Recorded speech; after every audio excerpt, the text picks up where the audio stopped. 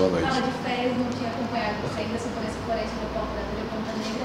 Queria que você fizesse uma avaliação dessa partida, né? Você começou jogando bem no primeiro tempo, é, abriu logo é, que começou a partida, abriu vantagem, mas cedeu o empate muito rápido e na segunda etapa acabou caindo um pouquinho de rendimento. Essa é a sua avaliação também?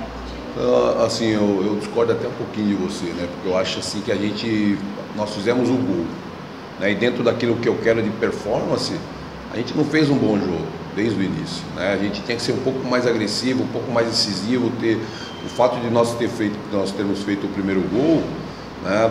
Isso não quer dizer que a gente estava do jeito que eu quero. né? Tem que ser um time mais agressivo, um time que aperta mais essa marcação, né? E nós deixamos o adversário ter essa bola e fazer o que a gente sabia que eles iam fazer, pegar a bola e esticar a bola longa. Então nós deixamos eles, eles executarem aquilo que foi conversado.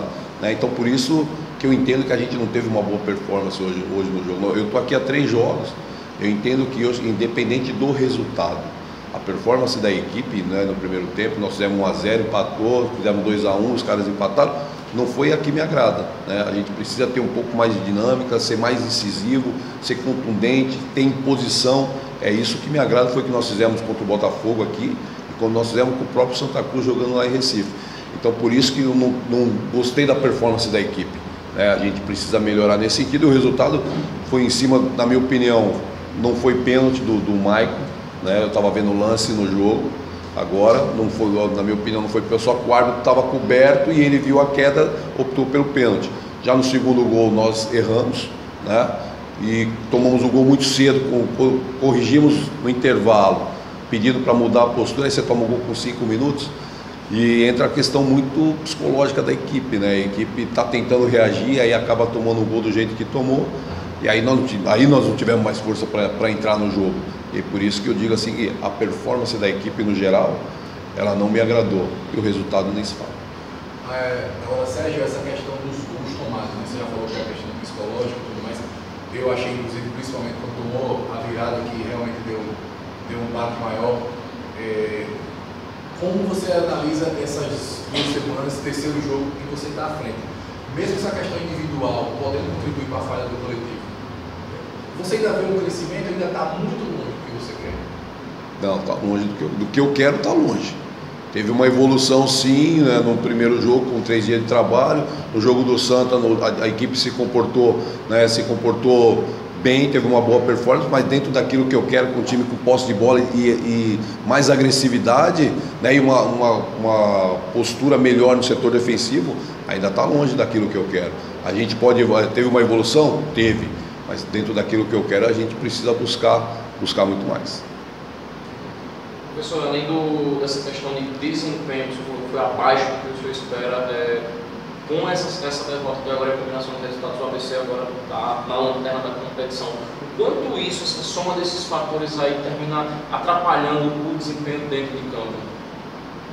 É evidente que você olhar a tabela e você se ver na última colocação, isso mexe e mexe de forma negativa. Agora, mas quem se colocou nessa condição fomos nós mesmos. Então nós temos que buscar força dentro desse psicológico que, tá, que é forte para a gente poder reagir caminharmos dentro da competição. Hoje a gente vê que a gente está na última posição, mas está todo mundo muito perto.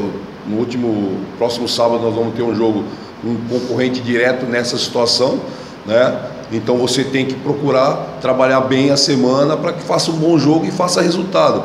Eu, eu entendo o seguinte, tem determinados momentos que você tem que fazer sempre, eu, eu, eu primo pela performance, né? E a performance te levará ao resultado.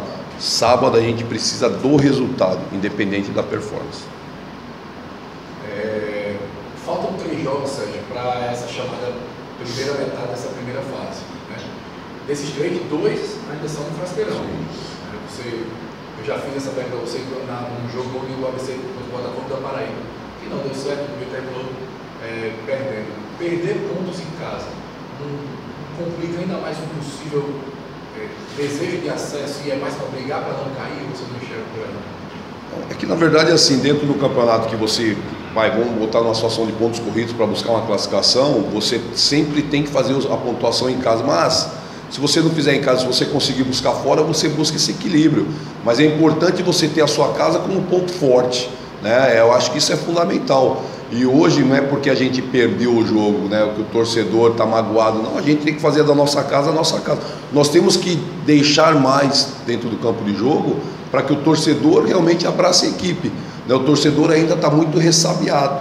Né? Então a gente está jogando na nossa casa, você vê que nós fizemos 1 a 0 o estádio estava totalmente quieto, a torcida estava vendo o jogo, né? não estava ali empurrando, porque o torcedor ainda está com aquela situação, pô, está ganhando uma calma, vamos esperar. Aí tomou um empate, o torcedor já começou um, um frissonzinho no, no estádio, né? de insatisfação, aí vai e faz 2 a 1 um. O, o, torcedor ainda comemorou o gol, mas ainda ficou calado. Não é aquela pressão, aquele caldeirão para cima do adversário, mas esse caldeirão somos nós que temos que fazer. Nós temos que trazer essa torcida para o nosso lado deixando mais dentro do campo de jogo e fazendo resultado.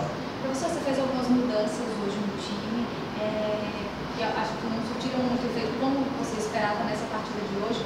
Tem dois novos jogadores né, que estão aí, é, que já chegaram, devem é, estreia, já tiveram dois que estrearam hoje. Você acredita que falta muito para conseguir aí o time perfeito, seu time titular para a Série C?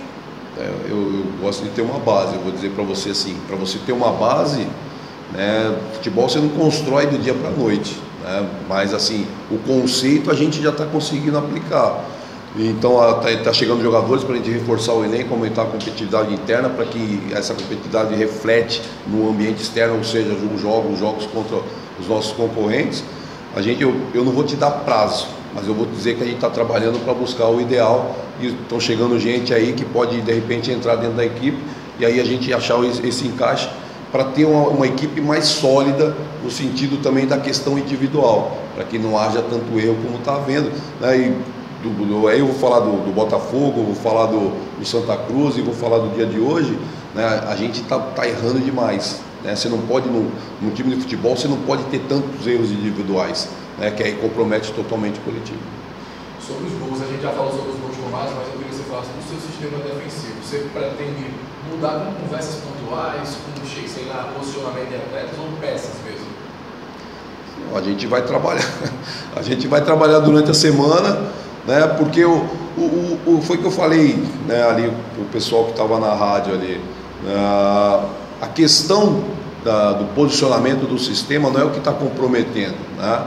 O que está comprometendo realmente, infelizmente, são as questões individuais que a gente precisa melhorar nesse sentido. E você melhora com uma conversa, você melhora com o trabalho, então, principalmente com o trabalho.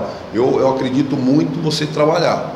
Né? Eu acho que só conversar isso não resolve, mas você tem que trabalhar e conversar e mostrar que é o que a gente faz para que diminua e minimize o máximo essa questão dos erros.